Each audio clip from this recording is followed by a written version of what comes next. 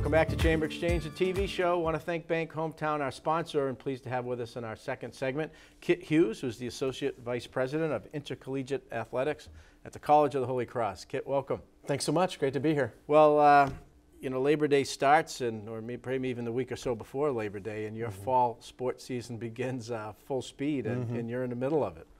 It is, yeah. I mean, it's uh, it's a fast start every year. You know, the summer tends to uh, evaporate, you know, uh, right after the Fourth of July, and then we're right into our fall season. And in fact, as we sit here today, you know, our winter seasons have begun. Yeah. So that's, you know, it's uh, it's amazing how quickly uh, time goes, but we're excited for it. We got a lot of good things going, and you know, excited to uh, be here and talk a little bit about it. So maybe a little uh, update on where kind of the fall sports stand at the moment. There was the football team hosted a, a, a, at the annual Edward Bennett Williams Classic mm-hmm. at at Polar Park. it was a great day. We didn't like the outcome of the game, but the team, notwithstanding, is doing well.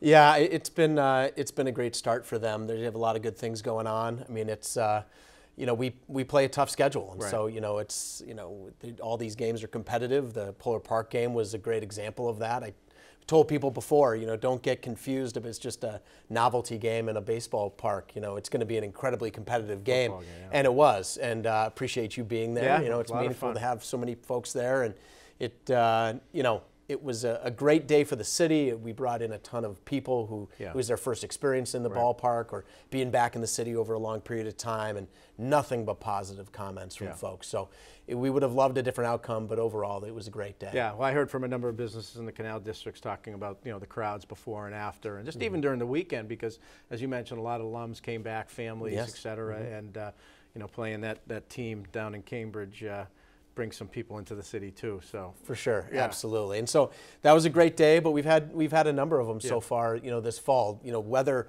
uh, hasn't always been on our side. You know, for everybody, it's been a pretty wet start to the to the fall, but. Um, you know, a lot of good progress for a lot of our programs, and you know, excited about some of the things going on. We have a, you know, we have a field hockey team that's on a three-game winning right. streak. They have a big, big uh, game this Friday against Colgate. Women's soccer team that just won went to BU on the road last night. BU, one of the top teams in the conference, got to win yeah, on the road. Yeah. Um, so a lot of these, you know, kind of teams t- making steps that we're really excited about uh, what's going on. Yeah, and then you mentioned, you know, the, the winter sports. Uh, mm-hmm. They're already kind of at it, and they, you've got some some dates not too far up, right? Oh, absolutely. No, so our men's ice hockey team had they opened their uh, their season on Sunday night at home against Long Island. They got a, a nice win there against a, a, quality opponent. We welcome UConn. Uh, to uh, to the Hart Center this Friday night, so that's a, a home hockey game. Uh, women's hockey was on the road; they'll be coming back home, and you know we just had an open house for uh, we both uh, men's and women's basketball had open practices right. last night. People came in, got a first chance to see our uh, those two teams and what this year's version looks like. get to see the new coaching staff on the men's side, and you know, definitely got a sense that people are eager for the winter seasons to get going too. Yeah, and, and the, your, your women's basketball team had a great season last year, new coach, uh, and looking to build uh, build on that success. Yeah, Coach Magarity. I, th- I, think this was this last season was uh, season three for her, and yeah. she uh, you know she's really done, done a fantastic job building that team. Had some staff. You know, you have success, and right. you have some staff turnover. Right, Coach Chesney knows that very well over the last couple of years. Right. And, Coach Magarity had that, had a chance to bring in a couple new faces to her coaching staff, and they've done a phenomenal job. So, you know, they continue to take steps. Um, you know, but our basketball program, right? But program meaning both on the men's side and the women's side together, really in a good place right now. Yeah. And uh, I think people are going to be excited for what they see. Yeah, and on the men's side, you're looking to kind of replic- replicate that success of the women's program. Mm-hmm. A new coach, uh, not unfamiliar with Massachusetts in the area, Dave Pauls. Yeah, mm-hmm. you, you want to Sure, yeah. Coach Paulsen is, uh, you know, he, he, had been out in Western Mass at Williams as an undergrad, yeah. as a coach, and had a lot of success. Knows the Patriot League from his time at Bucknell, um, but really just an incredible addition to our community. I mean, not just so much that he was a great fit. I mean, he was really added a lot to, and that's what we were looking for. So he's hit the ground running. He's done a wonderful job engaging our alumni and uh, getting our getting our guys out in the community, which we've been excited about. And um, you know, recruiting like crazy. I'm trying to find the yeah. next, uh, you know, the best kids to come and, into the program. You know, and I had a chance to, to go up the day you announced Coach Paulsen. Uh, schedule permitted me when you announced him, but really, in, in many ways, while he's not a, an alum of Holy Cross, he's a great fit in terms of trying to understand the student athlete mm-hmm. and the mm-hmm. academic tradition at the College of Holy Cross, but also the athletic. It's not mutually exclusive. You can have success on the court and in the classroom. And his, his Williams graduate coach there. He's had success in, at, at high level academic schools as well. Mm-hmm.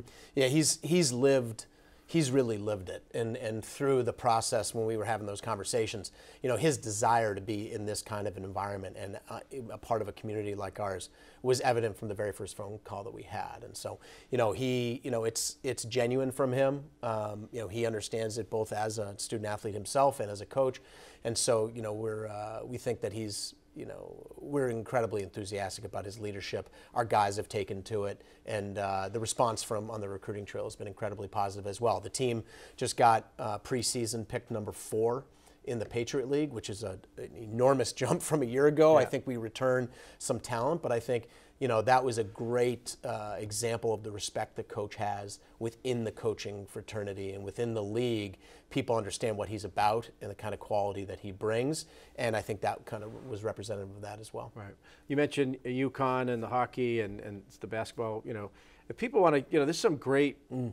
you know, Division One athletics uh, that take place here on a regular basis. How, how do people? T- tickets, the website. You know, people want to get up to, to the, the Hart Center, uh, you know, kind of get to the, some of the football games mm-hmm. that remain. You know, how, how, do you get the word out and where can people go to learn about games and tickets? Sure, absolutely. I mean, you know, our, our website, goholycross.com, is a great resource for everything, you know, Holy Cross athletics. We have our composite schedule. You can learn about all of our different sports programs and, and games that go on.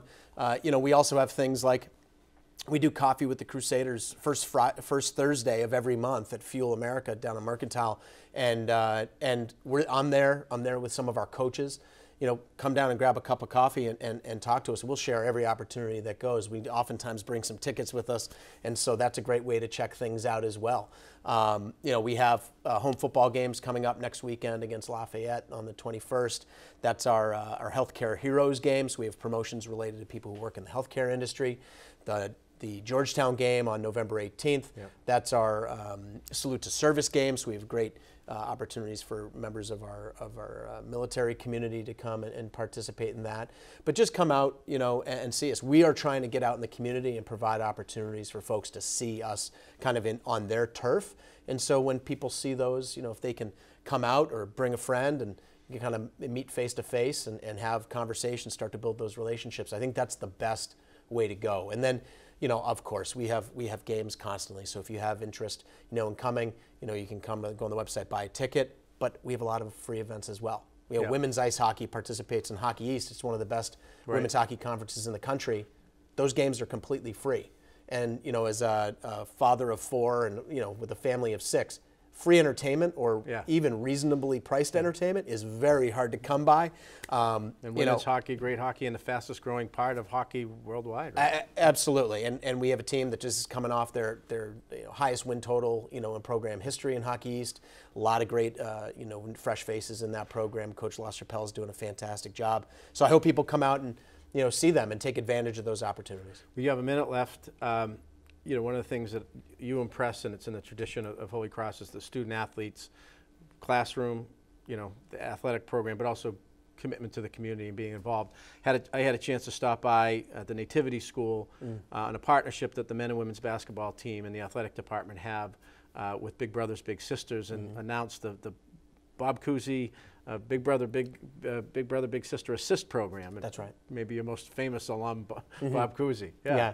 yeah it, it, one of our most famous alums, also an incredible supporter of Big Brothers, Big Sisters. Throughout his career, right? His whole, yeah, it, has been so part of him, and and that as an organization is something that we feel strongly about getting our young people because they're tremendous role models. Right uh, for these kids in our community and, and through Big Brothers Big Sisters being able to connect with these kids at the Nativity School, you know, we think that there's a, a great opportunity with that program in all ways. And that's something that we want to, you know, be a part of. Those are the kind of programs that we're looking for, the kind of partnerships we're looking for with great uh, yeah. community organizations. And then these wonderful young people who are uh, pretty special in their own right. So. Right. And College Holy Cross, the Jesuits and the alums instrumental in starting and supporting that school and mm-hmm. hopefully mm-hmm some good news on the horizon in terms of its expansion. Absolutely. Good so stuff. natural fit. Kit Hughes, Associate Vice President for Intercollegiate Athletics at the College of the Holy Cross. Thank you, uh, and we'll have you back soon. Sounds good. Okay, Thanks, good stuff. Appreciate it. These days, you've got your hands full in life. That's why we help you bank simply and securely with tools like Face ID and Touch ID. It's why we make it easy to make purchases on the go and get cash back while you're at it. Why we help you quickly deposit checks wherever you are. And it's why we lend a hand with sending and receiving money right from your phone. So even when you're on the move, you can manage your finances. Bank Hometown. Unlock your potential.